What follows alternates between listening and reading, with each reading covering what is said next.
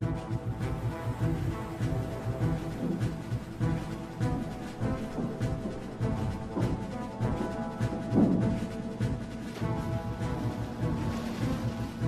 6 juin 1944, l'un des tournants majeurs de l'histoire contemporaine. En une journée, 156 000 hommes et 20 000 véhicules débarquent sur les côtes normandes. Ils vont changer le cours de la guerre et entamer l'assaut final contre les forces nazies.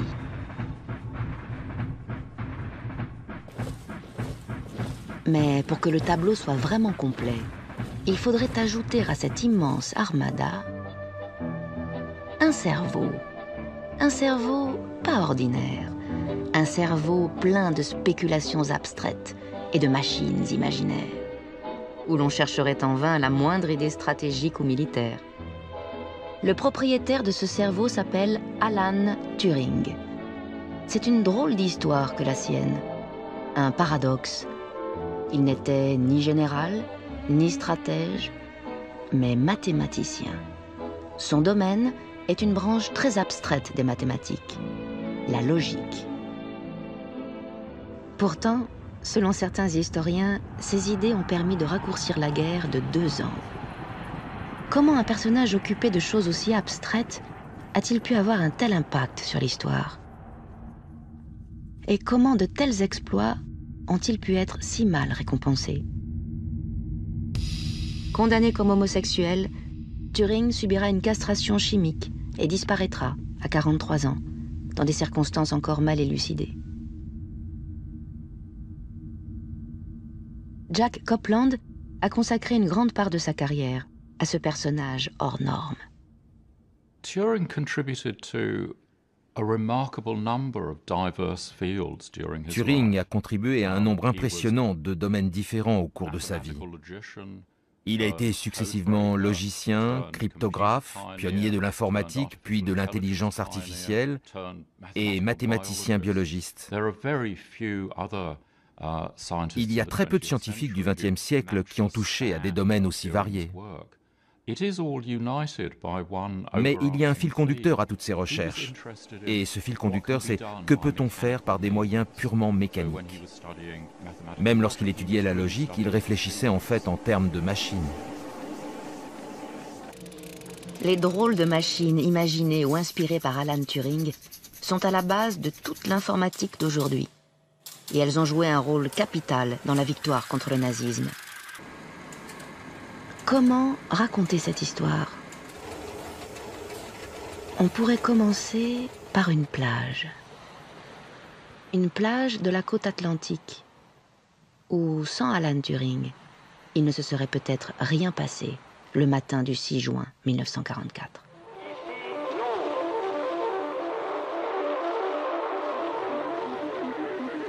Sous le commandement du général Eisenhower, les forces navales alliées, avec le soutien de puissantes formations aériennes, ont commencé ce matin un débarquement des armées alliées sur les côtes nord de la France. Par la quantité des forces navales, terrestres et aériennes déployées, le débarquement est la plus importante action combinée de tous les temps. Mais avant de lancer troupes et matériel à l'assaut des côtes normandes, il a fallu leur faire franchir l'océan, et donc garder ouvertes les routes maritimes de l'Atlantique Nord. C'est depuis Liverpool que le commandement allié a mené la bataille de l'Atlantique contre la Kriegsmarine, et en particulier contre les U-boats, les redoutables sous-marins allemands.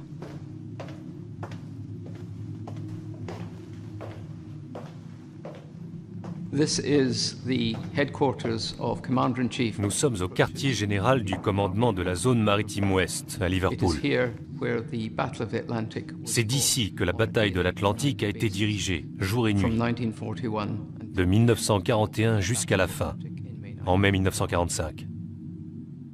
Le champ de bataille, c'est l'Atlantique Nord. 50 millions de kilomètres carrés.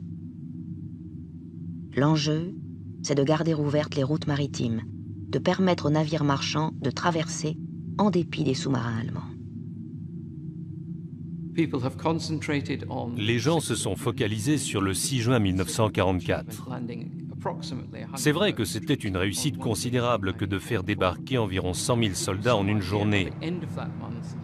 Mais pour vous donner un ordre de grandeur, à la fin du mois de juin, il y en avait un million. Il faut aussi prendre en compte tout l'équipement dont ces soldats avaient besoin. Fusils, armes lourdes, véhicules, munitions, carburant, nourriture, etc. Et tout ça devait être prêt en Grande-Bretagne, en gros, au début du mois de juin. C'est là que la bataille de l'Atlantique entre en jeu, parce que la seule façon d'amener tout ça, c'était par mer.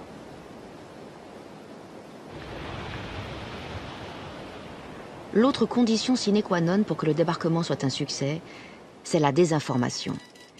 Les Alliés vont mettre en place une vaste campagne d'intoxication baptisée Fortitude, destinée à faire passer l'opération en Normandie pour une simple diversion avant un débarquement véritable plus à l'est, dans le Pas-de-Calais. Mais pour remporter ces deux batailles, l'Atlantique et la désinformation, il a fallu d'abord en gagner une troisième une guerre théorique dont l'essentiel s'est déroulé dans une petite ville au nord de Londres appelée Bletchley.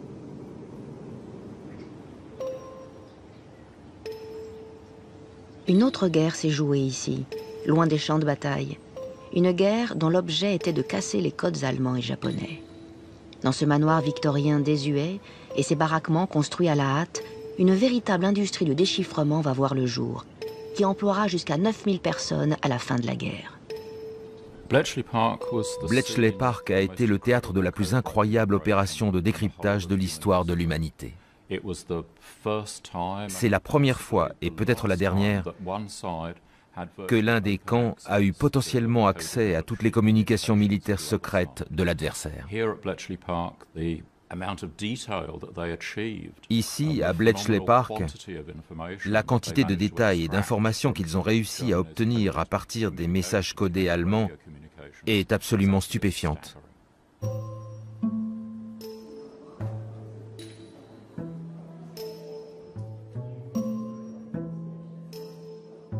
Aujourd'hui, Bletchley Park est devenu un musée consacré à la guerre des codes, à ses machines et à ses héros. On y rencontre partout les traces d'Alan Turing. De son ancien bureau à son ours en peluche, en passant par sa statue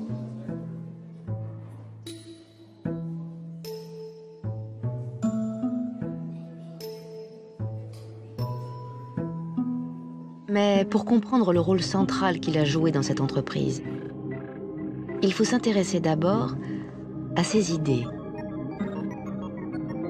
Des idées qui, au beau milieu des années 30, ont quelques décennies d'avance sur le reste du monde.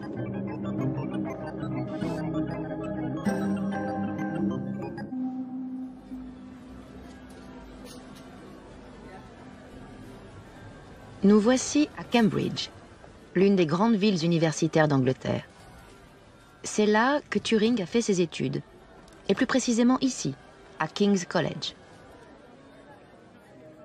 Au début des années 30, Turing y est un simple étudiant.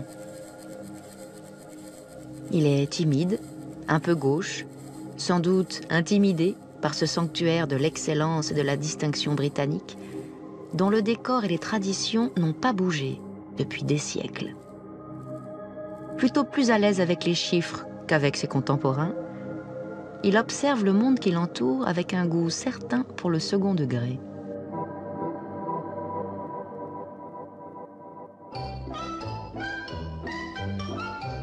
Je vois les gens comme un ensemble couleur rose de données caractéristiques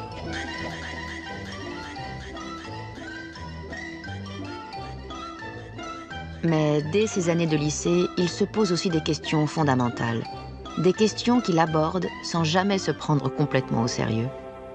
Je pensais autrefois possible que l'esprit s'en aille après la mort, dans un univers entièrement séparé du nôtre. Mais je considère maintenant qu'esprit et matière sont tellement connectés que ce serait une contradiction dans les termes. Quant à savoir pourquoi nous avons un corps, pourquoi nous ne pouvons exister en tant que pur esprit? Nous pourrions sans doute y arriver, mais il ne nous resterait alors plus rien à faire. Le corps fournit à l'esprit de quoi s'occuper.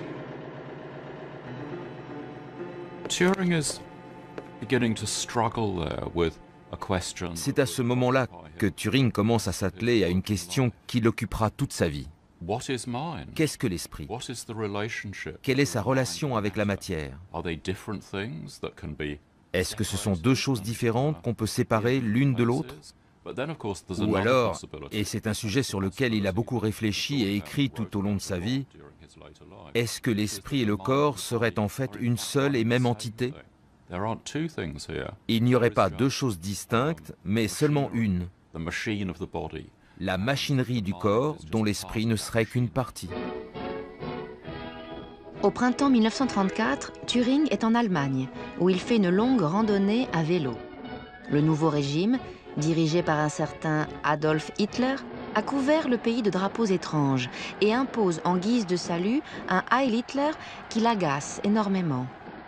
Mais les affaires du monde ne le concernent encore que de très loin.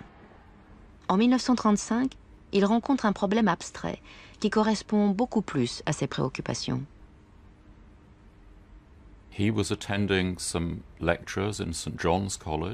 Turing assistait à des cours magistraux à St. John's College sur les fondements des mathématiques. Ces cours étaient donnés par Max Newman, qui expliquait à ses étudiants un problème récemment posé par David Hilbert. Hilbert était un mathématicien allemand renommé. C'était le pape des mathématiques à l'époque. Et dans les années 20, il avait posé un problème absolument essentiel pour les fondements des mathématiques, le problème de la décision. Dans l'idée de David Hilbert, tout problème mathématique a une solution. Et le Graal des mathématiciens est de découvrir une méthode strictement définie, une recette, qui permettrait de reconnaître à coup sûr une proposition vraie d'une proposition fausse. Turing a travaillé d'une manière qui ne serait pas du tout recommandée à des jeunes scientifiques, ni à son époque, ni aujourd'hui. Il s'est plongé dans ce problème sans lire la littérature euh, des logiciens préexistants. Il a attaqué le problème directement en imaginant, en inventant sa propre méthode. Il réfléchit en pratiquant un sport qui deviendra bientôt une obsession, la course à pied. Existe-t-il une recette comme celle que réclame Hilbert? Il faudrait une méthode infaillible qu'il suffirait d'appliquer systématiquement sans initiative ni intelligence. En fait, il faudrait qu'une machine puisse le faire. Turing invente donc un appareil imaginaire composé d'un ruban de papier infini et d'un pointeur qui peut y écrire et y effacer des signes. Plus qu'une machine physique, c'est une idée qui peut prendre toutes sortes de formes. Des étudiants de l'ENS Lyon ont construit la leur en Lego. S'il a eu l'idée d'une machine, c'est parce que contrairement à beaucoup de mathématiciens, Turing avait une tournure d'esprit qui le portait à se représenter des problèmes abstraits sous une forme de mécanismes logiques qui peuvent être des horloges, des machines à calculer, des expériences de pensée. Personne ne peut imaginer que cette expérience de pensée, cachée au fond d'un article théorique de mathématiques, pose les bases de ce qu'on baptisera informatique 30 ans plus tard. En 1936, ce n'est pas la découverte de Turing qui fait les gros titres. Guerre d'Espagne, Anschluss, l'histoire s'accélère et la guerre se profile, inévitable.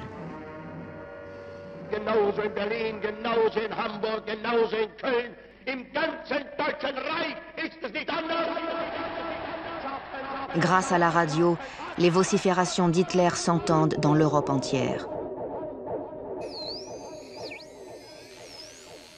Depuis la Première Guerre mondiale, les ondes sont aussi devenues un nouveau champ de bataille. Mouvements de troupes, offensives terrestres, aériennes, maritimes, les ondes radio transportent les ordres et les contre-ordres, les informations secrètes, les positions des uns et des autres. Utiliser la radio, particulièrement en temps de guerre, vous expose à une interception par l'ennemi, d'autant plus qu'à l'époque, la propagation des ondes radio n'était pas aussi bien connue qu'aujourd'hui. Un moyen de résoudre ce problème était d'utiliser la cryptographie, de coder les messages radio. Bien avant le début de la guerre, les Britanniques ont compris l'intérêt d'essayer de pénétrer le système de communication de l'adversaire. La côte anglaise est parsemée de stations d'interception où des milliers d'auxiliaires féminines de l'armée écoutent les communications allemandes et retranscrivent les messages captés en morse. Des messages incompréhensibles, car codés. En matière de code, les Allemands ont développé ce qu'ils considèrent comme une arme absolue. Ils ont remplacé les anciens procédés par une machine. Une machine baptisée Enigma, qu'on peut configurer de mille millions de milliards de façons différentes. Pour casser un seul de ces messages par la force brute, il faut faire tourner un ordinateur d'aujourd'hui pendant un an. Turing n'a encore jamais vu de machine Enigma, mais il va bientôt la connaître dans ses moindres détails. Donc, nous avons ici une machine Enigma, une machine de chiffrement à rotor. Le principe de base, c'est que lorsque j'appuie sur une lettre du clavier, cette dernière est transformée en une autre lettre. Par exemple, quand j'appuie sur la touche D, c'est la lampe K qui s'allume. À l'intérieur de la machine, chaque rotor possède un câblage interne qui transforme la lettre entrée en une autre. C'est un D qui arrive dans le premier rotor, mais un R qui en ressort. Le R devient un U, puis un K, et c'est la lettre K qui s'allume sur le boîtier. Évidemment, ce serait un codage beaucoup trop simple si chaque fois que j'appuyais sur la lettre D, c'était le K qui s'allumait. Donc, si j'appuie à nouveau sur le D, c'est une autre lettre qui s'allume, en l'occurrence le U. À chaque fois qu'une lettre est entrée au clavier, l'un au moins des rotors tourne, si bien que le circuit électrique change et aboutit à une autre lettre. Pour décoder un message, il faut connaître la configuration initiale de la machine. Le destinataire du message avait besoin de connaître la position de départ des rotors. Lorsqu'il les avait configurés de la même façon que l'expéditeur, il pouvait alors taper le message codé au clavier et reconstituer ici le message en clair sur le tableau de lampe. C'était l'avantage de cette machine Enigma. Avec les mêmes réglages d'encodage, on pouvait chiffrer et déchiffrer un message. C'était l'idée. Mais comme l'histoire l'a démontré, cette caractéristique s'est avérée le point faible de la machine. En 1938, Turing est aux États-Unis, à Princeton, où il poursuit des recherches fondamentales où il est question d'intuition mathématique.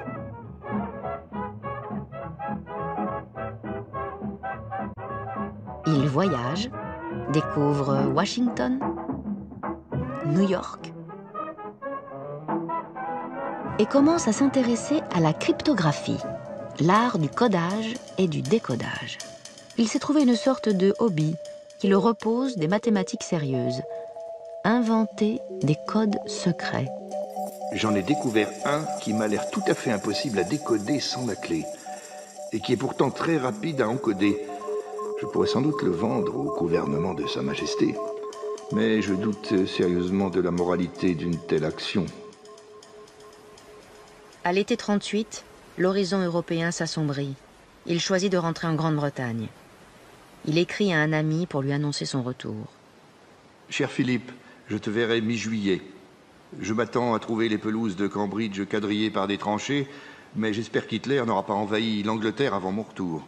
On September 1st, 1939, the Nazi army smashed into Poland.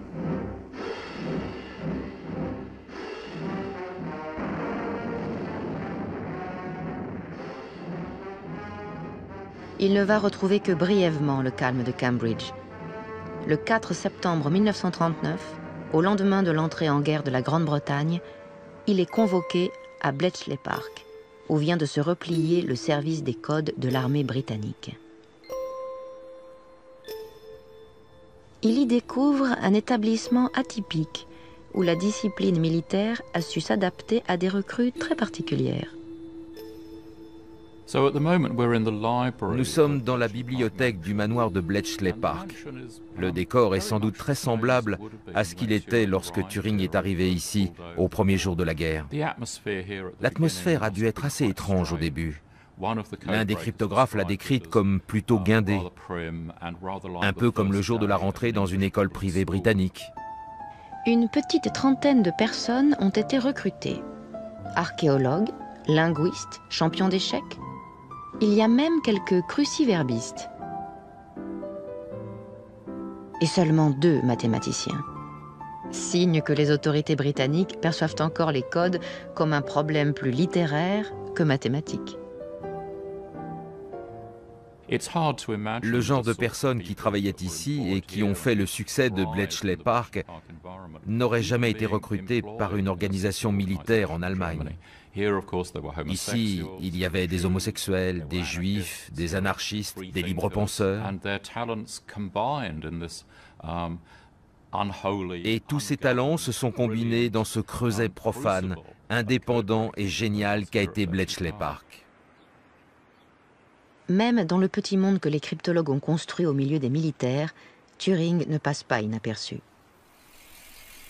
Il méprise les conventions sociales qu'il entend passer au crible de la rationalité. Si en été on l'aperçoit affublé d'un masque à gaz, ce n'est pas à cause d'une alerte chimique, mais parce qu'il a décidé de combattre le rhume des foins. Peu à peu, l'organisation de Bletchley Park se met en place. Chaque jour, les opératrices des stations d'interception transcrivent des centaines de messages. Des messages illisibles qui s'accumulent sur les bureaux des cryptologues sans beaucoup de résultats. Les Anglais disposent pourtant d'une réplique exacte de la machine Enigma, transmise par les Polonais quelques semaines avant l'invasion de leur pays. Mais en fait, avoir une machine Enigma n'aidait pas beaucoup à décrypter les messages, parce que le système était conçu pour rester sûr même si une machine tombait aux mains de l'ennemi. Avec une machine cryptographique, il y a deux étapes distinctes. Il faut d'abord comprendre le mécanisme de la machine, combien il y a de rotors, comment il fonctionne, etc. Il faut, comme on dit, casser la machine. Et puis la deuxième étape, c'est d'inventer une méthode qui vous permettra de lire quotidiennement les messages interceptés. Et c'était ça le véritable problème. C'est là qu'il fallait faire preuve d'ingéniosité et de génie.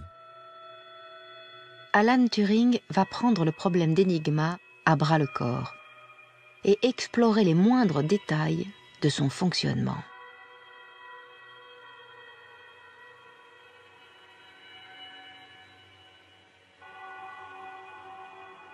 Il ne voit pas les problèmes de code avec les yeux d'un militaire ou d'un espion, mais avec ceux d'un scientifique pour qui l'univers tout entier peut être vu comme un vaste message à décrypter.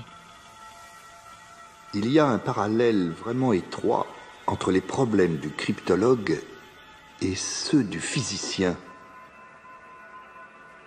Si le système de codage représente les lois de l'univers, alors les messages interceptés correspondent aux apparences observables. Et la clé du message équivaut à une constante importante qu'on cherche à découvrir. Tandis que les anciens du service des codes sont adeptes du papier quadrillé et du taille-crayon, Turing est persuadé qu'une grande partie des raisonnements produits par l'esprit humain peut être mécanisée. Et si il fallait une machine pour lutter contre une machine?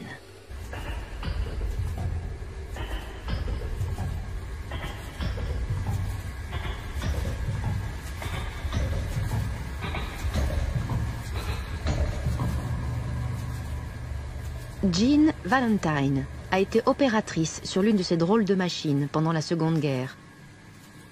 50 ans plus tard, elle est revenue à Bletchley Park où elle travaille comme guide. Cette machine inventée par Alan Turing s'appelle une bombe, B-O-M-B-E.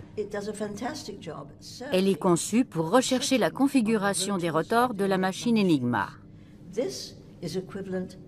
Ça, c'est l'équivalent de 36 machines Enigma.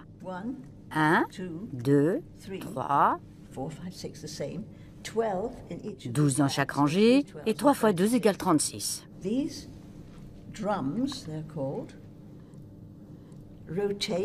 Ces tambours tournent et sont en contact avec le commutateur du tableau arrière. Il y a quatre petites brosses pour chaque lettre. Et chacune de ces petites brosses possède 19 filaments. Ce sont ces brosses qui font la connexion avec le commutateur du tableau arrière. À partir de 1940, les Anglais construisent des bombes en série.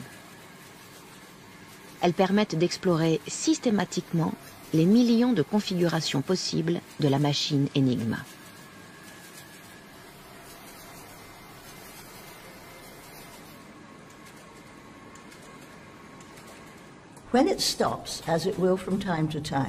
Quand la machine s'arrête, des lettres apparaissent sur ces tambours et ce sont elles qui indiquent la configuration trouvée. On transmettait ces informations par téléphone. Et à l'époque, je ne savais pas du tout où j'appelais. Mais quand je suis devenu guide ici, il y a 15 ans, j'ai découvert que l'information traversait juste l'allée pour aller 10 mètres plus loin. Je ne savais pas où j'appelais, et je suis sûr que ceux qui répondaient ne savaient pas d'où je les appelais, parce qu'ici, le secret était la règle absolue. On ne parlait jamais de notre travail à l'extérieur du bâtiment où on était employé. On n'en parlait à personne. Pas même à nos proches, à notre mari, à notre petite amie ou à nos parents. Jamais. On nous avait dit de ne pas en parler et on n'en parlait pas. Les bombes constituent l'un des secrets les mieux gardés de la Seconde Guerre. Grâce à elles, ce n'est plus un message de temps en temps qui va être décrypté, mais des dizaines de milliers. Les Anglais vont ainsi avoir accès, en vrac, à une foule d'informations.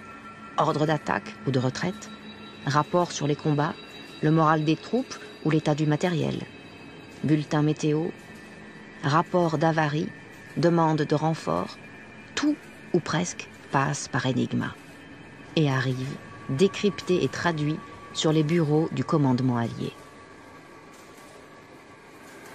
Mais en plus du rôle joué dans le déroulement de la guerre, c'est aussi la première fois qu'une machine empiète sur le domaine réservé de l'intelligence humaine. Je vois la bombe de Turing comme le premier jalon sur le chemin ayant mené à ce qu'on appelle aujourd'hui l'intelligence artificielle.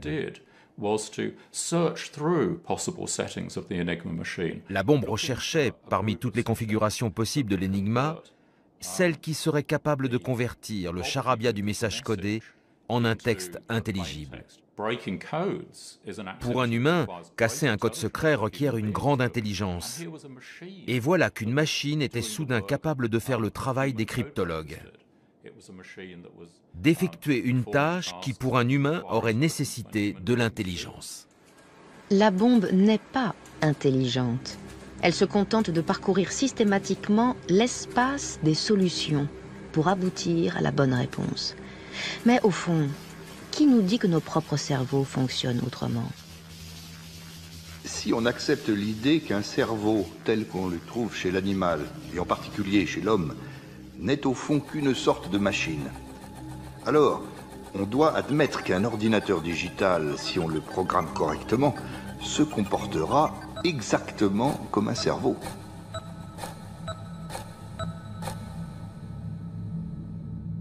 Mais en cette fin d'été 1940, percer les mystères de la pensée n'est pas la priorité, même pour Turing.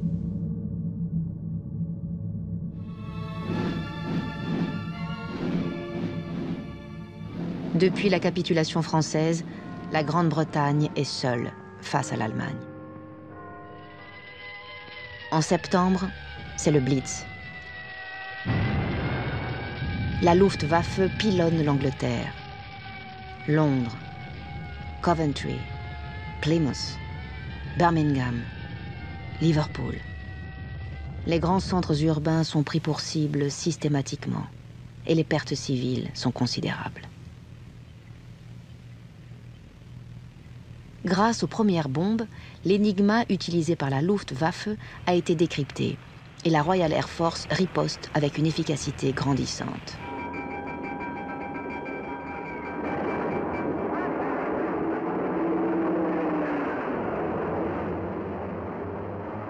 Mais la bataille, soudain, change de terrain. Puisqu'il ne parvient pas à envahir la Grande-Bretagne, Hitler a décidé de l'affamer.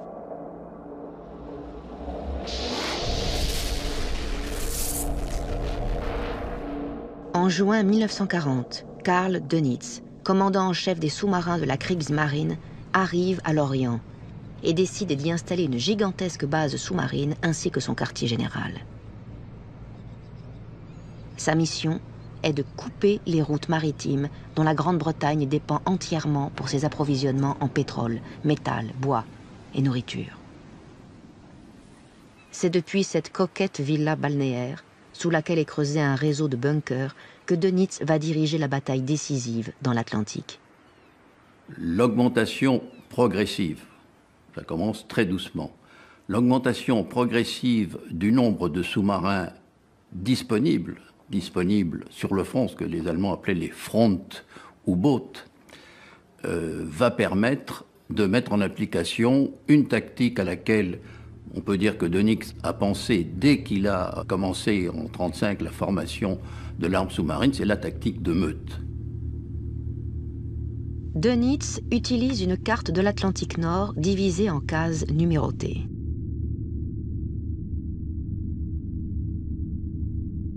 chaque sous-marin établit un contact radio au moins une fois par jour pour signaler sa position et recevoir de nouvelles instructions. Dönitz peut ainsi déployer ses U-boats comme sur un échiquier.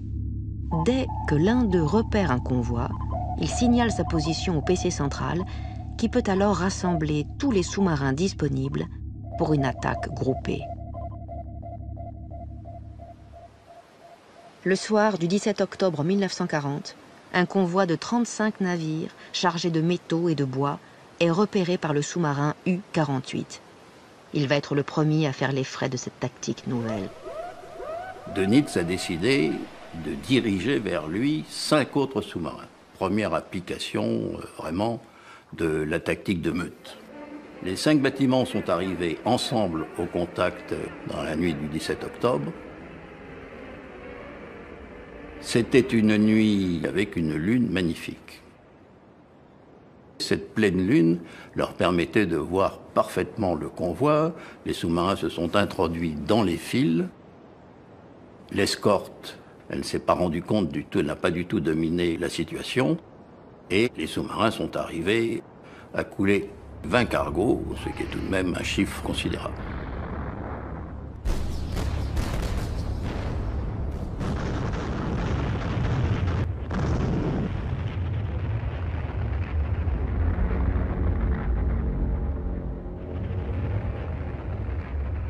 Auparavant, les sous-marins attaquaient de façon isolée. Alors, ils pouvaient arriver à couler deux, trois bâtiments, hein, mais c'était vraiment un maximum. Après ça, le reste du convoi finissait par se, par se défiler, où le sous-marin n'avait plus de torpilles. Hein. Tandis que cinq sous-marins, 20 euh, bâtiments. Fin 1940, des centaines de navires ont déjà été coulés. Plus de 5 millions de tonnes ont disparu au fond de l'océan. Ce petit film de propagande témoigne des efforts des autorités militaires pour mettre en garde les marins contre le danger mortel des confidences. Surtout lorsque ces dernières tombent dans les mauvaises oreilles.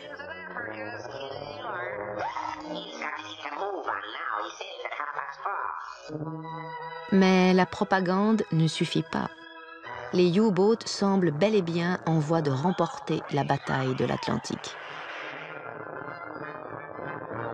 Pourtant, la tactique de meute a un défaut. Elle fait un usage intensif de la radio. Casser le code utilisé par les U-boats permettrait peut-être aux Alliés de renverser le rapport de force. Le problème, c'est qu'il n'y a pas une énigma, mais des énigmas. Les communications allemandes fonctionnent par réseau. Il y en a un pour l'aviation de l'Ouest, un autre pour l'infanterie du front russe, encore un autre pour les sous-marins de l'Atlantique. Chaque réseau a ses propres clés, ses propres procédures et parfois ses propres variantes de la machine Enigma. Celle qu'utilisent les U-boats, baptisée Dolphin à Bletchley Park, est particulièrement difficile à décrypter. À 2000 ou 3000 km des côtes, au milieu de l'Atlantique, on ne peut pas utiliser de liaison par câble. Donc, dès le début, la marine était tributaire de la radio. C'est un point très important. C'est pourquoi la marine a toujours cherché à obtenir les plus hauts standards de sécurité pour l'énigme navale. Tout le monde à Bletchley Park semble considérer que l'énigme navale est invulnérable. Alastair Denniston, le commandant en chef a même fait cette déclaration surprenante. Vous savez, les Allemands n'ont pas l'intention de vous laisser lire leur message. Je ne vois pas comment vous pourriez y arriver. Mais pour Turing, l'importance de casser le code de l'énigme naval était claire. Et puis c'était un problème particulièrement intéressant pour lui, qui préférait travailler seul. Il avait horreur de faire partie d'une équipe. Il aimait travailler sur un problème sans en discuter avec les autres et sans être dérangé par leurs idées. C'était le travailleur solitaire par excellence.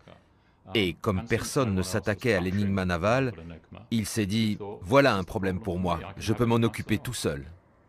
Autour du manoir, on a commencé à construire des baraquements des huttes dans le jargon en usage à Bletchley Park.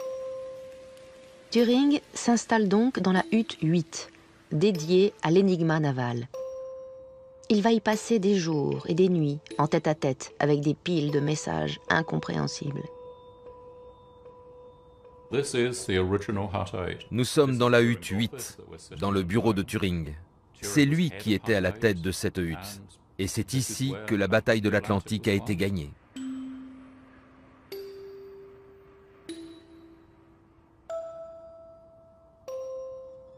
Caché dans ces chaînes de caractères, presque à portée de main, il sait qu'il y a des informations capitales qui permettraient de sauver des vies, de changer peut-être le cours de la guerre.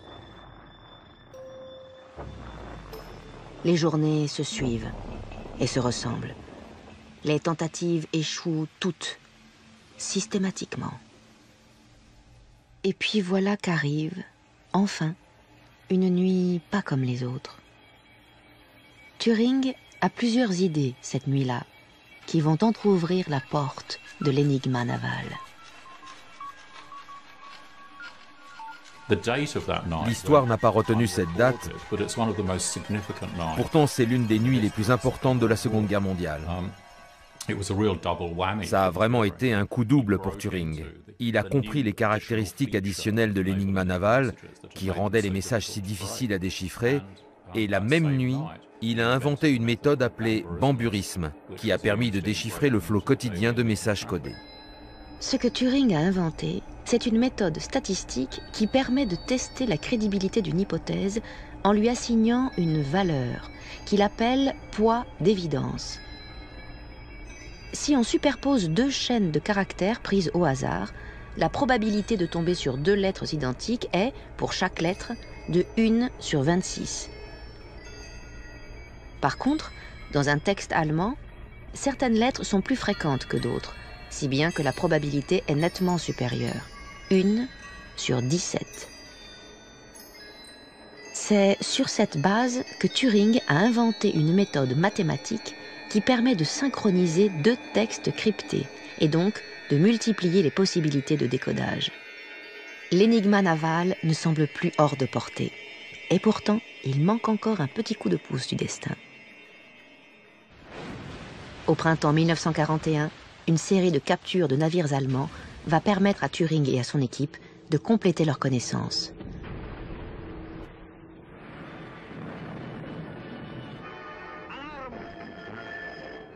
En juin, par exemple, un sous-marin allemand endommagé est obligé de faire surface. Le commandant a ordonné l'ordre d'évacuation, euh, tout l'équipage et lui-même se sont jetés à la mer.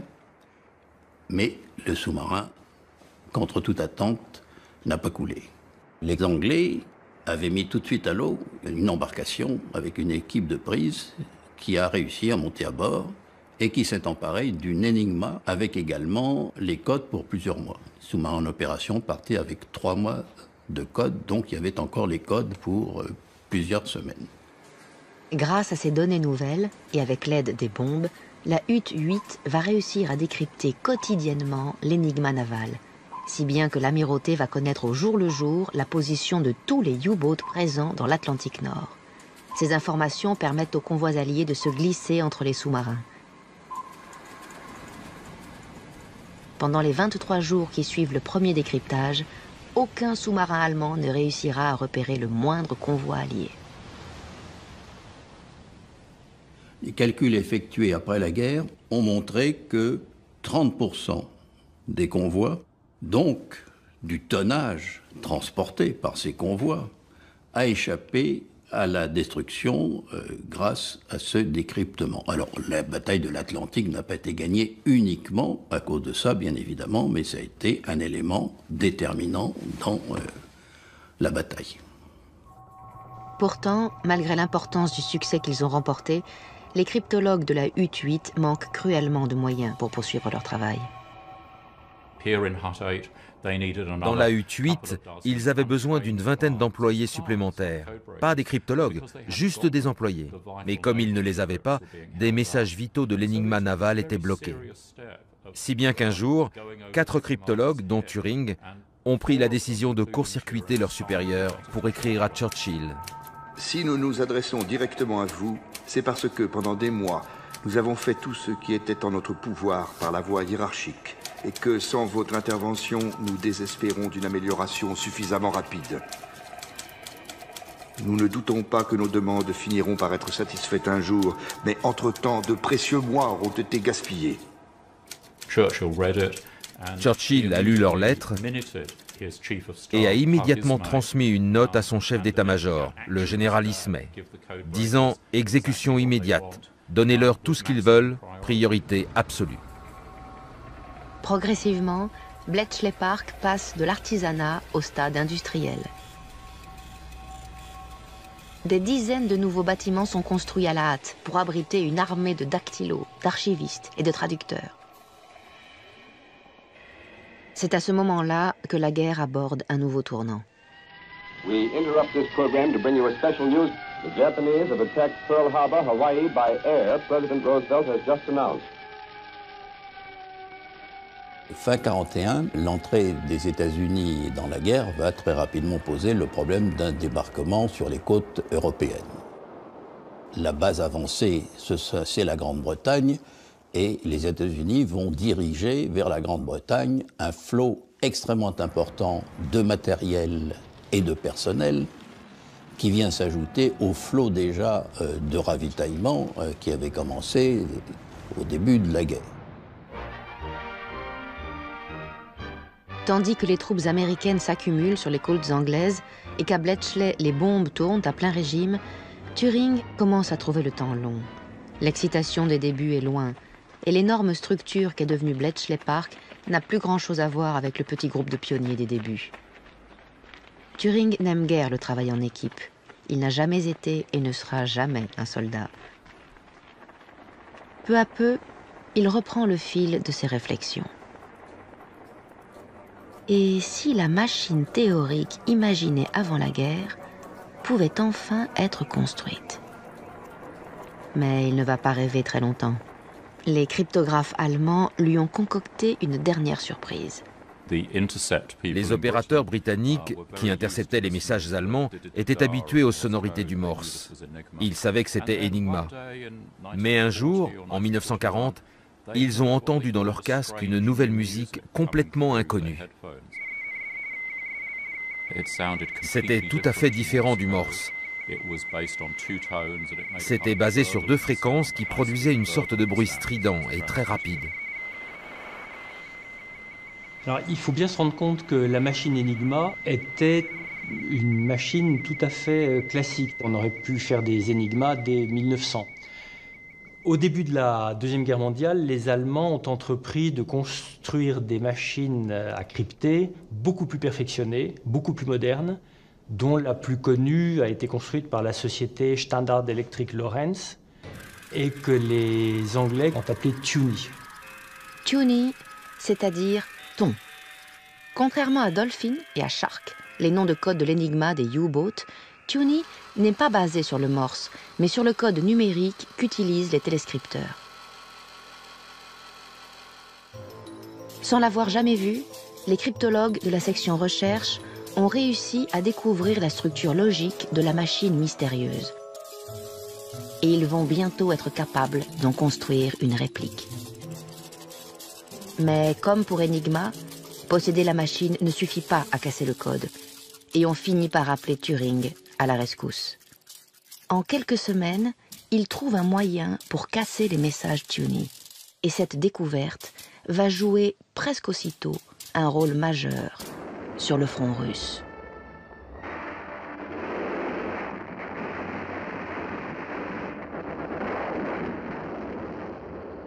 À l'été 1943, alors que l'armée allemande a été battue à Stalingrad, Hitler tente de reprendre l'initiative en déplaçant troupes et tanks vers la ville russe de Kursk. Cette attaque avait nécessité énormément de préparation et toutes les discussions entre Hitler et ses généraux passaient par Tuny. Si bien que Bletchley Park a pu lire tout ce qu'Hitler disait aux généraux du front russe et tout ce que ceux-ci lui répondaient. Il savait pratiquement tout des plans allemands pour la bataille de Kursk.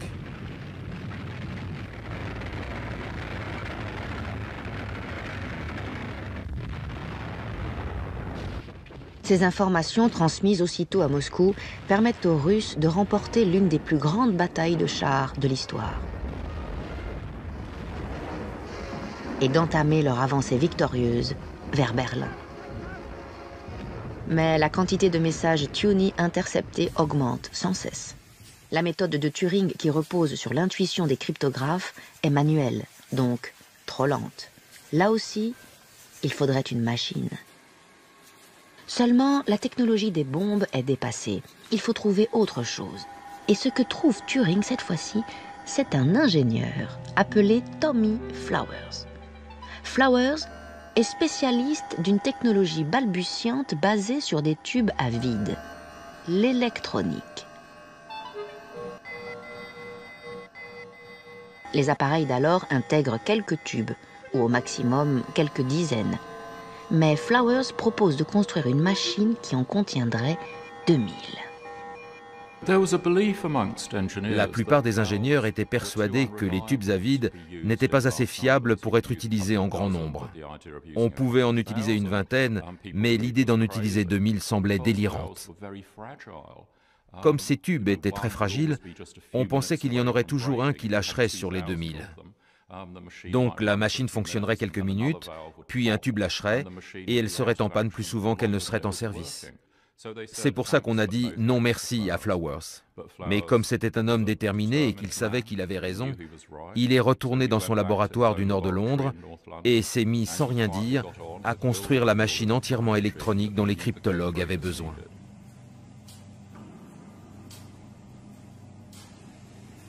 La machine de Flowers est tellement démesurée qu'il l'a baptisée Colossus.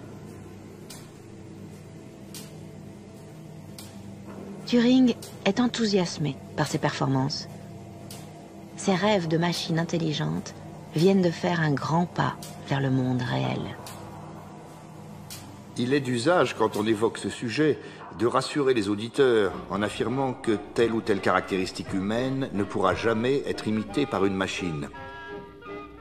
On affirme par exemple qu'une machine ne saura jamais écrire, ou qu'elle ne sera jamais sensible au sexe à pile, ou ne fumera jamais la pipe. Je ne peux pas vous offrir un tel réconfort, car je considère qu'aucune limite de ce genre ne peut être fixée. À partir de février 1944, Colossus décrypte systématiquement les communications qui s'échangent au plus haut niveau de l'état-major allemand.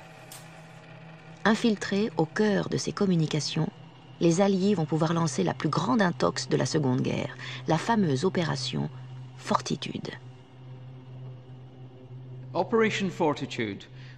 L'opération Fortitude a commencé bien avant le débarquement de juin 1944. Son but était de persuader les Allemands que le débarquement aurait lieu non pas en Normandie, mais bien plus à l'est, dans le Pas-de-Calais, ce qui était parfaitement plausible, vu que la traversée était bien plus courte. Les Alliés ont utilisé toutes sortes de moyens pour convaincre les Allemands que cette hypothèse était la bonne. Entre autres, ils ont bombardé cette zone aussi intensivement et y ont effectué autant de missions de reconnaissance aérienne qu'en Normandie. Grâce à l'interception des communications stratégiques allemandes, on a pu observer les progrès de cette opération de désinformation en temps réel, en régler très finement les détails et s'assurer que la supercherie fonctionnait, et fonctionnait même très bien. La suite est connue, racontée, filmée, photographiée de long en large et a été remise en scène des dizaines de fois par le cinéma. À l'aube du 6 juin, Turing apprend la nouvelle en même temps que tous ses concitoyens. Le débarquement vient de commencer. Hitler n'a pas utilisé toutes ses forces en Normandie. Il a gardé deux divisions de blindés en réserve dans l'attente du débarquement dans le Pas-de-Calais. Le commandement allié savait donc qu'il aurait un peu de répit en Normandie avant que la totalité des forces allemandes ne soit déployée. Il a fallu plusieurs jours à Hitler pour finalement mobiliser ces deux divisions. C'étaient de très grosses divisions, incluant des milliers de soldats et de blindés. Et si elles avaient été là en Normandie dès le début, les choses auraient pu tourner très différemment. Pour Harry Hinsley, ancien de Bletchley Park, devenu historien spécialiste des codes, les opérations de décryptage ont permis de raccourcir considérablement la Seconde Guerre. Il a écrit à plusieurs reprises qu'il considérait que Bletchley Park avait raccourci la guerre de deux ans. Je pense qu'il faut voir ça comme un calcul symbolique. Ça a été en tout cas une contribution très importante. Harry Hinsley a également déclaré que si la guerre n'avait pas pris fin en mai 1945, la première bombe atomique n'aurait pas été larguée sur le Japon, mais sur Berlin. Il n'y aura pas de bombe atomique larguée sur Berlin. Le 8 mai 1945, des foules en liesse fêtent partout en Europe la victoire des Alliés sur l'Allemagne nazie. Turing aurait sans doute mérité d'être acclamé aux côtés de la famille royale et d'être traité en héros national. Au lieu de cela, il va disparaître totalement de l'histoire officielle.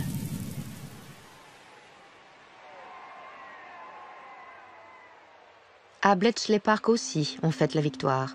Mais ni Turing, ni Tommy Flowers, ni aucun autre ne pourra revendiquer les formidables progrès qui y ont été réalisés le secret militaire reste à l'ordre du jour. Sur les ruines encore fumantes qui parsèment l'Europe, la guerre froide a déjà commencé.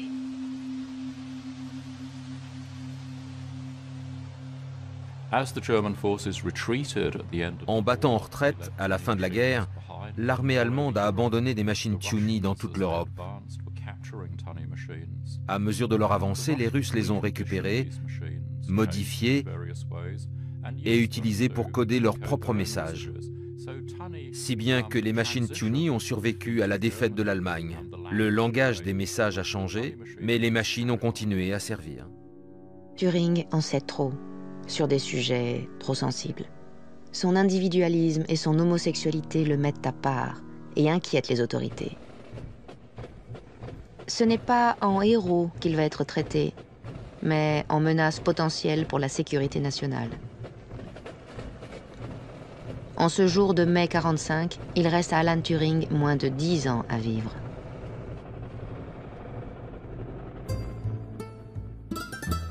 « 1945, il dessine les plans de ce qui aurait pu être le premier ordinateur moderne. Si seulement ses employeurs du National Physical Laboratory lui en avaient donné les moyens. 1948, il anticipe de plusieurs décennies le développement de l'intelligence artificielle et des réseaux neuronaux. Un travail que son directeur d'alors qualifie de dissertation de collégien. 1950, il écrit quelques-uns des tout premiers programmes informatiques, et entre autres le premier programme d'échecs. Une perte de temps, selon quelques collègues bien intentionnés. Et puis, à force de courir, Turing est devenu un marathonien d'un excellent niveau, au point qu'il rate de peu la sélection pour les premiers Jeux olympiques de l'après-guerre. C'est dans cette maison, près de Manchester, que Turing va passer ses dernières années. C'est ici qu'un beau jour, il invite un jeune homme avec lequel il a une aventure. Une aventure qui se termine au tribunal. En mars 1952, Alan Mattison Turing est condamné pour outrage aux mœurs. Il n'échappe à la prison qu'en acceptant une castration chimique, un traitement à base d'hormones féminines destiné à réduire sa libido. Son sens de l'humour en tout cas est intact, comme le montre le récit qu'il fait à un ami de ses mésaventures.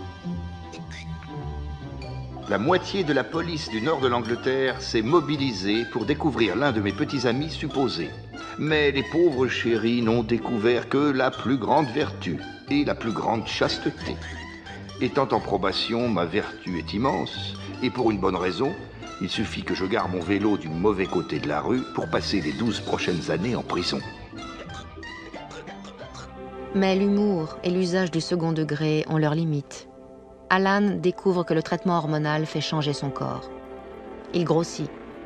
Malgré tous ses efforts, il n'est pas un pur esprit. Dès le début de ses ennuis judiciaires, il avait pressenti qu'il ne sortirait pas indemne de l'aventure. Je suis pour le moment dans un état où je n'arrive pas à me concentrer correctement. Sans doute que c'est un homme différent qui va émerger de tout ça, mais lequel? Ça, je n'en ai pas la moindre idée. Le 8 juin 1954, on le retrouve mort dans la chambre de sa maison de Manchester. Son corps contient du cyanure et une pomme à demi mangée repose sur sa table de nuit. L'enquête conclut au suicide. C'est le point de départ d'une légende. La pomme de Turing rejoint celle de Newton et de Blanche-Neige au panthéon des pommes superstars.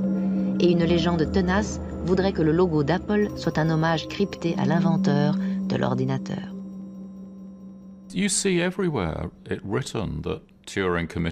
On lit partout que Turing s'est suicidé en mangeant une pomme empoisonnée au cyanure.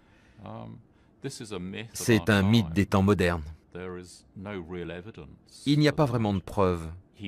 Peut-être qu'il s'est suicidé, mais peut-être que non. Je doute qu'on sache un jour la vérité. Le médecin légiste a fait une déclaration dans la presse locale disant qu'avec un homme dans le genre de Turing, on pouvait s'attendre à tout. Mais c'est une pure élucubration. Turing était quelqu'un d'extrêmement rationnel. Et penser que parce qu'il était un intellectuel et un homosexuel, c'était quelqu'un d'imprévisible et enclin au suicide, c'est totalement absurde. En 2013, la reine a accordé officiellement à Alan Turing son pardon royal. On ignore ce que le principal intéressé aurait pensé de cette tardive réhabilitation. Son corps a été incinéré le 12 juin 1954. Quant à son esprit, à ce jour, on est sans nouvelles. Et le lien qui relie pensée et matière est encore largement un mystère.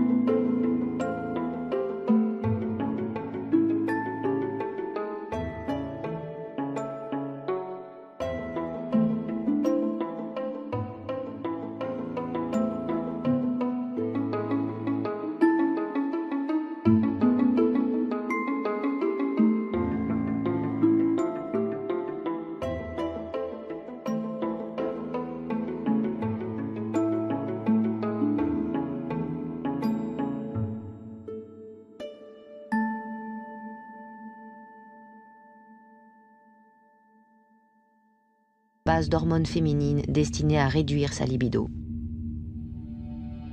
Son sens de l'humour en tout cas est intact, comme le montre le récit qu'il fait à un ami de ses mésaventures. La moitié de la police du nord de l'Angleterre s'est mobilisée pour découvrir l'un de mes petits amis supposés. Mais les pauvres chéris n'ont découvert que la plus grande vertu et la plus grande chasteté. Étant en probation, ma vertu est immense, et pour une bonne raison, il suffit que je garde mon vélo du mauvais côté de la rue pour passer les douze prochaines années en prison. Mais l'humour et l'usage du second degré ont leurs limites. Alan découvre que le traitement hormonal fait changer son corps. Il grossit. Malgré tous ses efforts, il n'est pas un pur esprit. Dès le début de ses ennuis judiciaires, il avait pressenti qu'il ne sortirait pas indemne de l'aventure. Je suis pour le moment dans un état où je n'arrive pas à me concentrer correctement. Sans doute que c'est un homme différent qui va émerger de tout ça, mais lequel? Ça, je n'en ai pas la moindre idée. Le 8 juin 1954, on le retrouve mort dans la chambre de sa maison de Manchester. Son corps contient du cyanure et une pomme à demi mangée repose sur sa table de nuit. L'enquête conclut au suicide. C'est le point de... Mouvement de troupes, offensives terrestres, aériennes, maritimes. Les ondes radio transportent les ordres et les contre-ordres, les informations secrètes, les positions des uns et des autres. Utiliser la radio, particulièrement en temps de guerre, vous expose à une interception par l'ennemi. D'autant plus qu'à l'époque, la propagation des ondes radio n'était pas aussi bien connue qu'aujourd'hui. Un moyen de résoudre ce problème était d'utiliser la cryptographie, de coder les messages radio. Bien avant le début de la guerre, les Britanniques ont compris l'intérêt d'essayer de pénétrer le système de communication de l'adversaire.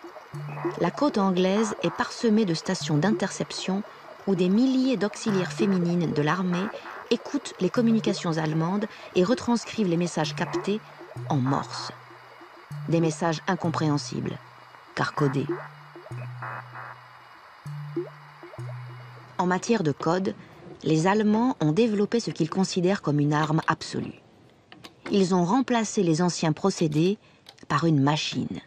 Une machine baptisée Enigma, qu'on peut configurer de 1000 millions de milliards de façons différentes. Pour casser un seul de ces messages par la force brute, il faut faire tourner un ordinateur d'aujourd'hui pendant un an.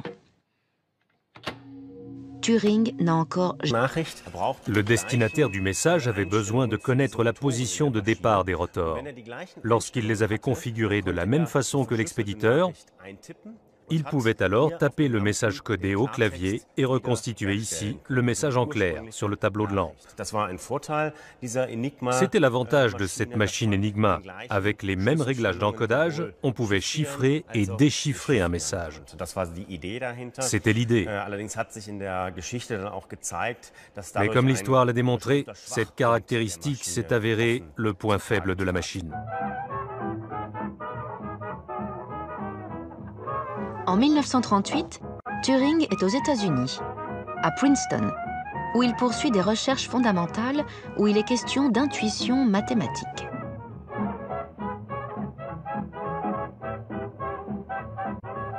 Il voyage, découvre Washington, New York,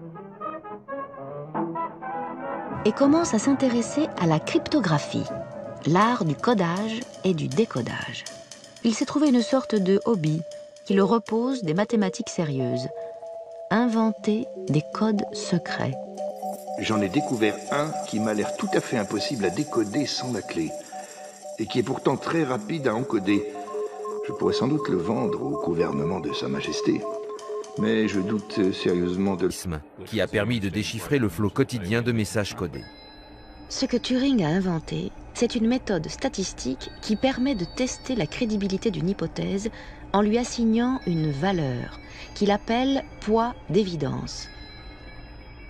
Si on superpose deux chaînes de caractères prises au hasard, la probabilité de tomber sur deux lettres identiques est, pour chaque lettre, de 1 sur 26.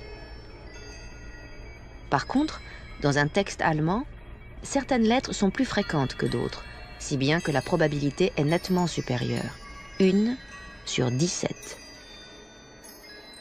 C'est sur cette base que Turing a inventé une méthode mathématique qui permet de synchroniser deux textes cryptés et donc de multiplier les possibilités de décodage. L'énigma naval ne semble plus hors de portée. Et pourtant, il manque encore un petit coup de pouce du destin. Au printemps 1941, une série de captures de navires allemands va permettre à Turing et à son équipe de compléter leurs connaissances.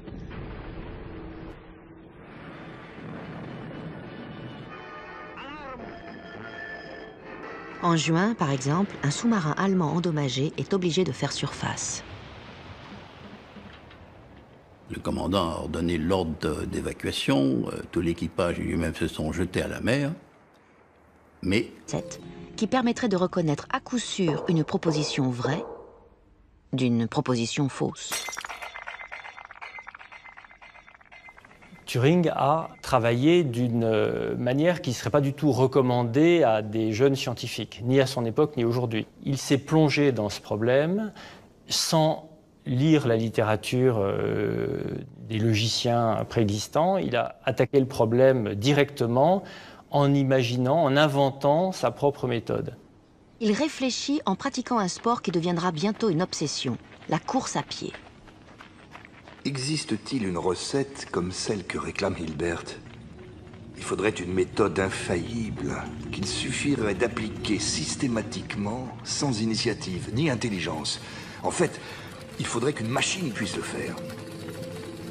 Turing invente donc un appareil imaginaire composé d'un ruban de papier infini et d'un pointeur qui peut y écrire et y effacer des signes. plus qu'une machine physique, c'est une idée qui peut prendre toutes sortes de formes. Des étudiants de l'ENS Lyon ont construit la leur en Lego. S'il a eu l'idée d'une machine, c'est parce que, contrairement à beaucoup de mathématiciens, Turing... Les Anglais vont ainsi avoir accès, en vrac, à une foule d'informations. Ordre d'attaque ou de retraite, rapport sur les combats, le moral des troupes ou l'état du matériel, bulletin météo, rapport d'avarie, demande de renfort, tout ou presque passe par Enigma et arrive, décrypté et traduit sur les bureaux du commandement allié. Mais en plus du rôle joué dans le déroulement de la guerre, c'est aussi la première fois qu'une machine empiète sur le domaine réservé de l'intelligence humaine. Je vois la bombe de Turing comme le premier jalon sur le chemin ayant mené à ce qu'on appelle aujourd'hui l'intelligence artificielle. La bombe recherchait, parmi toutes les configurations possibles de l'énigma, celle qui serait capable de convertir le charabia du message codé en un texte intelligible.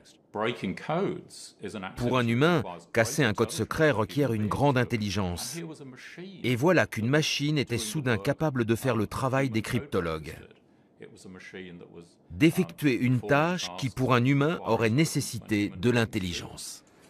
La bombe n'est pas intelligente. Elle se contente de parcourir systématiquement l'espace des solutions pour aboutir à la bonne réponse. Mais au fond, il y a même quelques cruciverbistes. Et seulement deux mathématiciens. Signe que les autorités britanniques perçoivent encore les codes comme un problème plus littéraire que mathématique. Le genre de personnes qui travaillaient ici et qui ont fait le succès de Bletchley Park n'auraient jamais été recrutées par une organisation militaire en Allemagne. Ici, il y avait des homosexuels, des juifs, des anarchistes, des libres penseurs. Um, et tous ces talents se sont combinés dans ce creuset profane, indépendant et génial qu'a été Bletchley Park. Même dans le petit monde que les cryptologues ont construit au milieu des militaires, Turing ne passe pas inaperçu.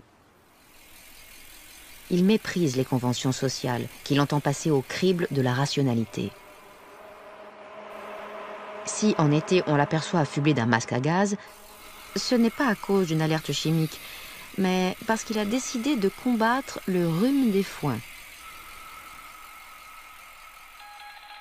Peu à peu, l'organisation de Bletchley Park se met en place. Chaque jour, les opératrices des stations d'interception transcrivent des centaines de messages. Des messages illisibles qui s'accumulent sur les bureaux des cryptologues sans beaucoup de résultats. Fortitude. L'opération Fortitude a commencé bien avant le débarquement de juin 1944.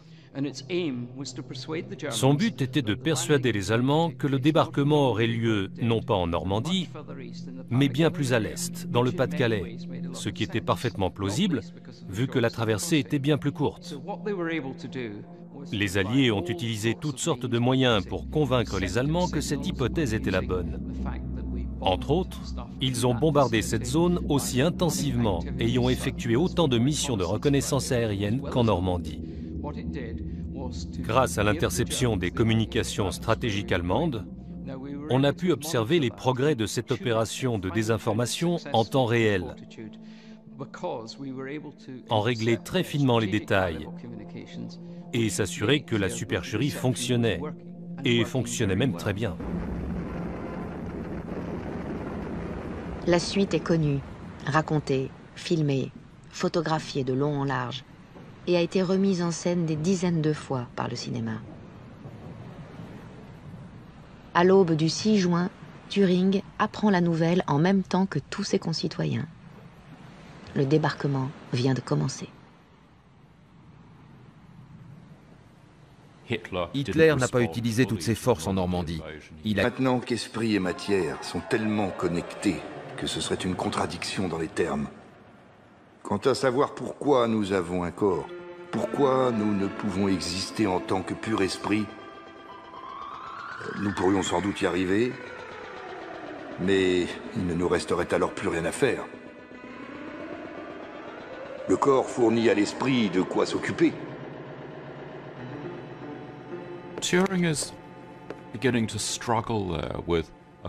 C'est à ce moment-là que Turing commence à s'atteler à une question qui l'occupera toute sa vie. Qu'est-ce que l'esprit? Quelle est sa relation avec la matière?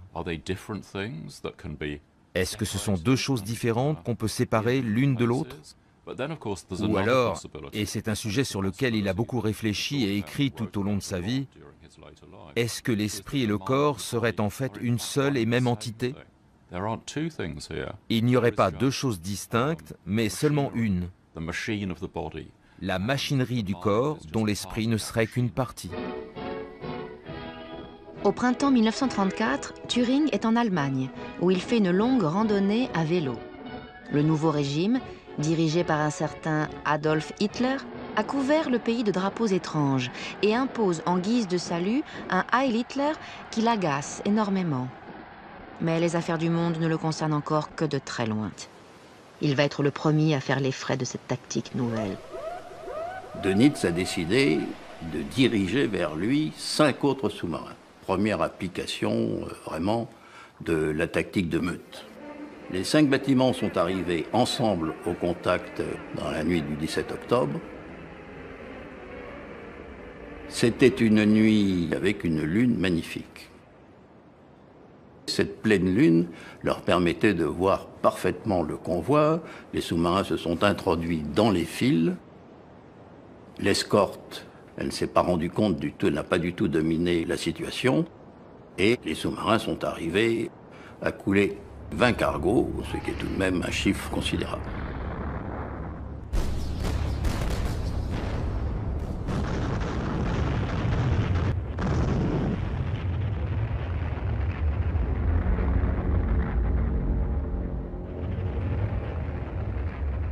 Auparavant, les sous-marins attaquaient de façon isolée. Alors, ils pouvaient arriver à couler deux, trois bâtiments, hein, mais c'était vraiment un maximum. Après ça, le reste du convoi finissait par se, par se défiler, où le sous-marin n'avait plus de torpilles. Hein. Tandis que cinq sous-marins, 20 euh, bâtiments. Fin 1940, des centaines de navires ont déjà été coulés. Plus de 5 millions de tonnes ont disparu au fond de l'océan. Ce petit qui aurait pu être le premier ordinateur moderne. Si seulement ses employeurs du National Physical Laboratory lui en avaient donné les moyens. 1948, il anticipe de plusieurs décennies le développement de l'intelligence artificielle et des réseaux neuronaux. Un travail que son directeur d'alors qualifie de dissertation de collégien. 1950, il écrit quelques-uns des tout premiers programmes informatiques, et entre autres le premier programme d'échecs. Une perte de temps, selon quelques collègues bien intentionnés. Et puis, à force de courir, Turing est devenu un marathonien d'un excellent niveau, au point qu'il rate de peu la sélection pour les premiers Jeux olympiques de l'après-guerre. C'est dans cette maison, près de Manchester, que Turing va passer ses dernières années. C'est ici qu'un beau jour, il invite un jeune homme avec lequel il a une aventure. Une aventure qui se termine au tribunal. En mars 1952, Alan Mattison Turing est condamné pour outrage aux mœurs. Il n'échappe à la prison qu'en acceptant une castration chimique, un traitement à base d'hormones féminines destiné à réduire sa libido. Son sens de l'humour en tout cas est intact, comme le montre le récit qu'il fait à un ami de ses mésaventures. La moitié de la police du nord de l'Angleterre... Les bombes tournent à plein régime. Turing commence à trouver le temps long. L'excitation des débuts est loin, et l'énorme structure qu'est devenue Bletchley Park n'a plus grand-chose à voir avec le petit groupe de pionniers des débuts. Turing n'aime guère le travail en équipe. Il n'a jamais été et ne sera jamais un soldat. Peu à peu, il reprend le fil de ses réflexions. Et si la machine théorique imaginée avant la guerre pouvait enfin être construite Mais il ne va pas rêver très longtemps. Les cryptographes allemands lui ont concocté une dernière surprise. Les opérateurs britanniques qui interceptaient les messages allemands étaient habitués aux sonorités du Morse. Ils savaient que c'était Enigma. Mais un jour, en 1940, ils ont entendu dans leur casque une nouvelle musique complètement inconnue. C'était tout à fait différent du morse. C'était basé sur deux fréquences qui produisaient une sorte de bruit strident et très rapide. Alors, il faut bien se rendre compte que la machine Enigma était une machine tout à fait euh, classique. On aurait pu faire des Enigmas dès 1900.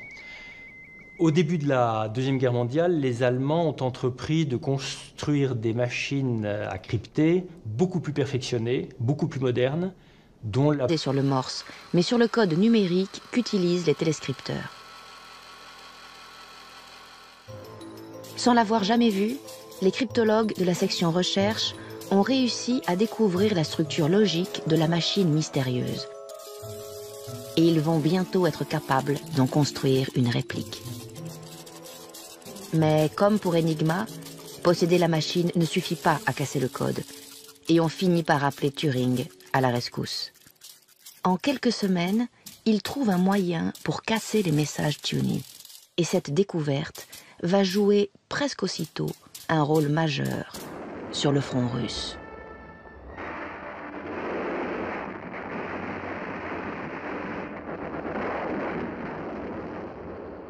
À l'été 1943, alors que l'armée allemande a été battue à Stalingrad, Hitler tente de reprendre l'initiative en déplaçant troupes et tanks vers la ville russe de Kursk.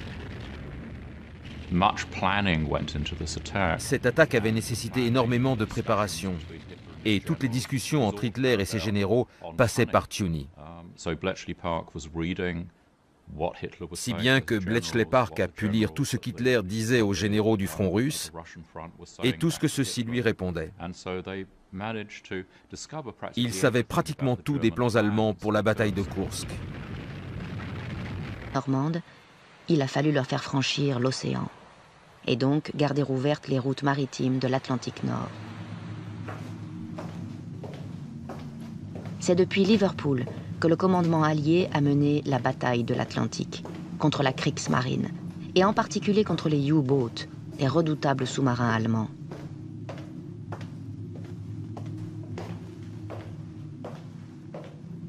Nous sommes au quartier général du commandement de la zone maritime ouest, à Liverpool. C'est d'ici que la bataille de l'Atlantique a été dirigée, jour et nuit, de 1941 jusqu'à la fin, en mai 1945. Le champ de bataille, c'est l'Atlantique Nord, 50 millions de kilomètres carrés. L'enjeu, c'est de garder ouvertes les routes maritimes, de permettre aux navires marchands de traverser en dépit des sous-marins allemands. Les gens se sont focalisés sur le 6 juin 1944. C'est vrai que c'était une réussite considérable que de faire débarquer environ 100 000 soldats en une journée.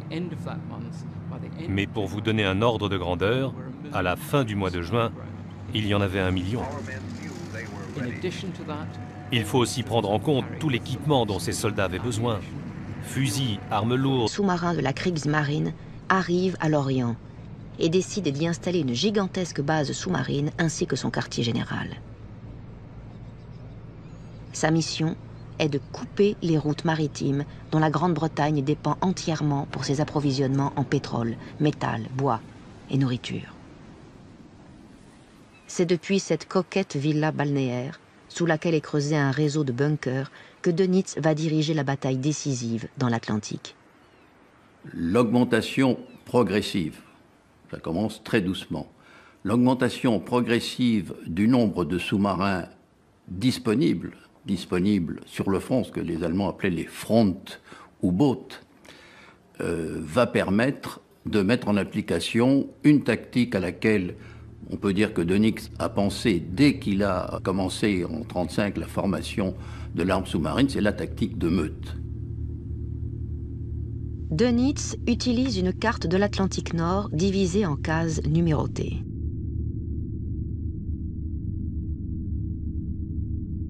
Chaque sous-marin établit un contact radio au moins une fois par jour pour signaler sa position et recevoir de nouvelles instructions. Dönitz peut ainsi déployer ses U-boats comme sur un échiquier.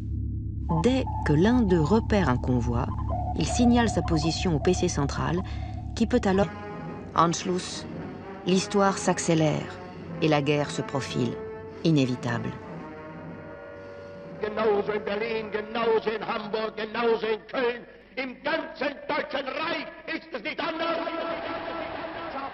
Grâce à la radio, les vociférations d'Hitler s'entendent dans l'Europe entière.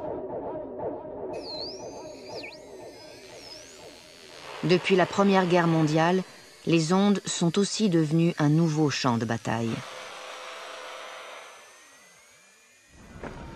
Mouvements de troupes, offensives terrestres, aériennes, maritimes, les ondes radio transportent les ordres et les contre-ordres, les informations secrètes, les positions des uns et des autres. Utiliser la radio, particulièrement en temps de guerre, vous expose à une interception par l'ennemi.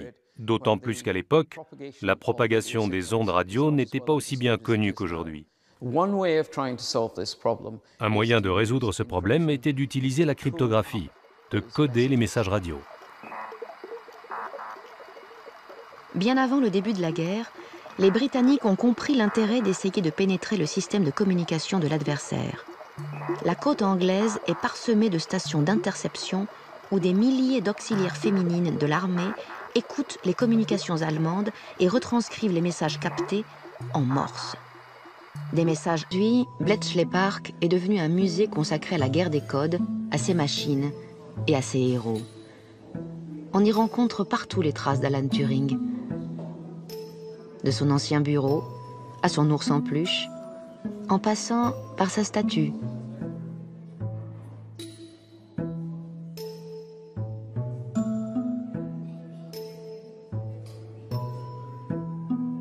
Mais pour comprendre le rôle central qu'il a joué dans cette entreprise, il faut s'intéresser d'abord à ses idées. Des idées qui, au beau milieu des années 30, ont quelques décennies d'avance sur le reste du monde.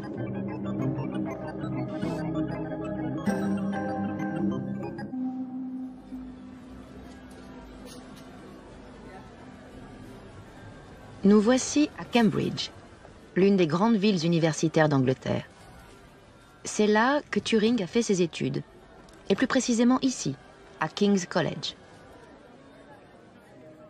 Au début des années 30, Turing y est un simple étudiant.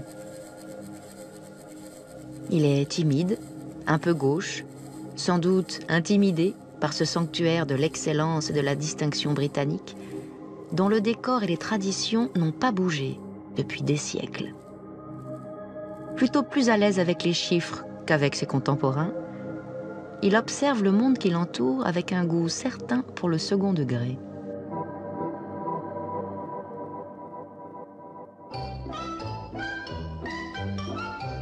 Je vois les gens comme un ensemble couleur rose de données caractéristiques.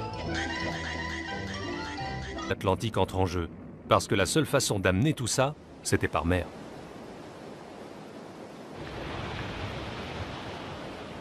L'autre condition sine qua non pour que le débarquement soit un succès, c'est la désinformation. Les Alliés vont mettre en place une vaste campagne d'intoxication baptisée Fortitude, destinée à faire passer l'opération en Normandie pour une simple diversion avant un débarquement véritable plus à l'est, dans le Pas-de-Calais. Mais pour remporter ces deux batailles, l'Atlantique et la désinformation, il a fallu d'abord en gagner une troisième une guerre théorique dont l'essentiel s'est déroulé dans une petite ville au nord de Londres appelée Bletchley.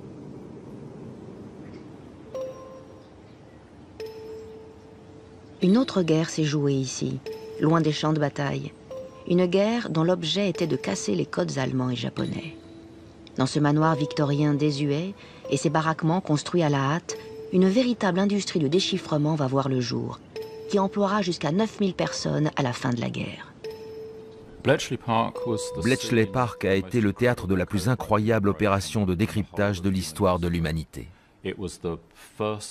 C'est la première fois, et peut-être la dernière, que l'un des camps a eu potentiellement accès à toutes les communications militaires secrètes de l'adversaire. Ici, à Bletchley Park, la quantité de détails et d'informations qu'ils ont réussi à obtenir à partir des messages codés allemands est absolument stupéfiante.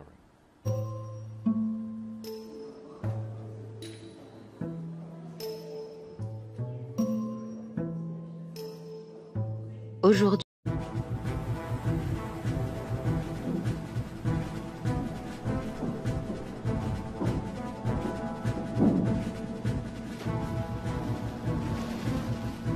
6 juin 1944 l'un des tournants majeurs de l'histoire contemporaine. En une journée, 156 000 hommes et 20 000 véhicules débarquent sur les côtes normandes. Ils vont changer le cours de la guerre et entamer l'assaut final contre les forces nazies.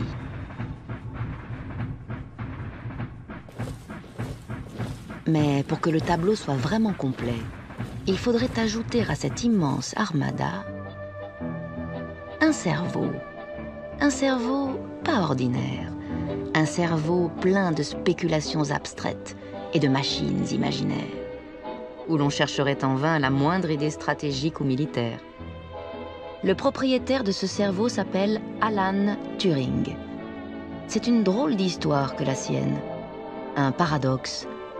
Il n'était ni général, ni stratège, mais mathématicien. Son domaine, est une branche très abstraite des mathématiques, la logique. Pourtant, selon certains historiens, ces idées ont permis de raccourcir la guerre de deux ans. Comment un personnage occupé de choses aussi abstraites a-t-il pu avoir un tel impact sur l'histoire? Et comment de tels exploits ont-ils pu être si mal récompensés? Condamné comme homosexuel, Turing subira une castration chimique et disparaîtra à 43 ans, dans des circonstances encore mal élucidées. Jack Copland a consacré une grande part de sa carrière à ce personnage hors norme. Turing contributed to a remarkable number of diverse fields during his Turing a contribué à un nombre impressionnant de domaines différents au cours de sa vie. Il a été successivement logicien, cryptographe, pionnier de l'informatique, puis de l'intelligence artificielle et mathématicien biologiste. Il y a très peu de scientifiques du XXe siècle qui ont touché à des domaines aussi variés. Mais il y a un fil conducteur à toutes ces recherches. Et ce fil conducteur, c'est que peut-on faire par des moyens purement mécaniques? Même lorsqu'il étudiait la logique, il réfléchissait en fait en termes de machines. Les drôles de machines imaginées ou inspirées par Alan Turing sont à la base de toute l'informatique d'aujourd'hui. Et elles ont joué un rôle capital dans la victoire contre le nazisme. Comment raconter cette histoire? On pourrait commencer par une plage. Une plage de la côte atlantique, où sans Alan Turing, il ne se serait peut-être rien passé le matin du 6 juin 1944.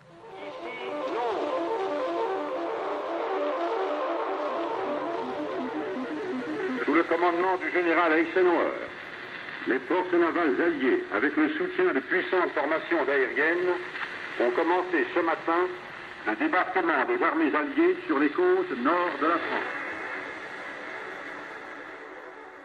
Par la quantité des forces navales, terrestres et aériennes déployées, le débarquement est la plus importante action combinée de tous les temps. Mais avant de lancer troupes et matériel à l'assaut des côtes normandes, il a fallu leur faire franchir l'océan et donc garder ouvertes les routes maritimes de l'Atlantique Nord.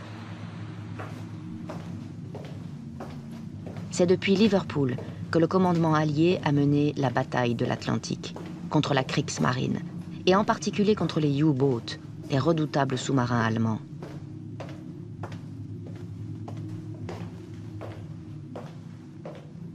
Nous sommes au quartier général du commandement de la zone maritime ouest, à Liverpool.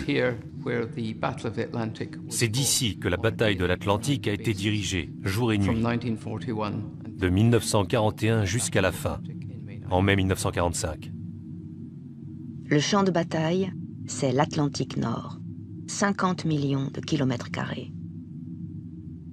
L'enjeu, c'est de garder ouvertes les routes maritimes, de permettre aux navires marchands de traverser en dépit des sous-marins allemands. Les gens se sont focalisés sur le 6 juin 1944. C'est vrai que c'était une réussite considérable que de faire débarquer environ 100 000 soldats en une journée. Mais pour vous donner un ordre de grandeur, à la fin du mois de juin, il y en avait un million. Il faut aussi prendre en compte tout l'équipement dont ces soldats avaient besoin. Fusils, armes lourdes, véhicules, munitions, carburant, nourriture, etc. Et tout ça devait être prêt en Grande-Bretagne, en gros, au début du mois de juin. C'est là que la bataille de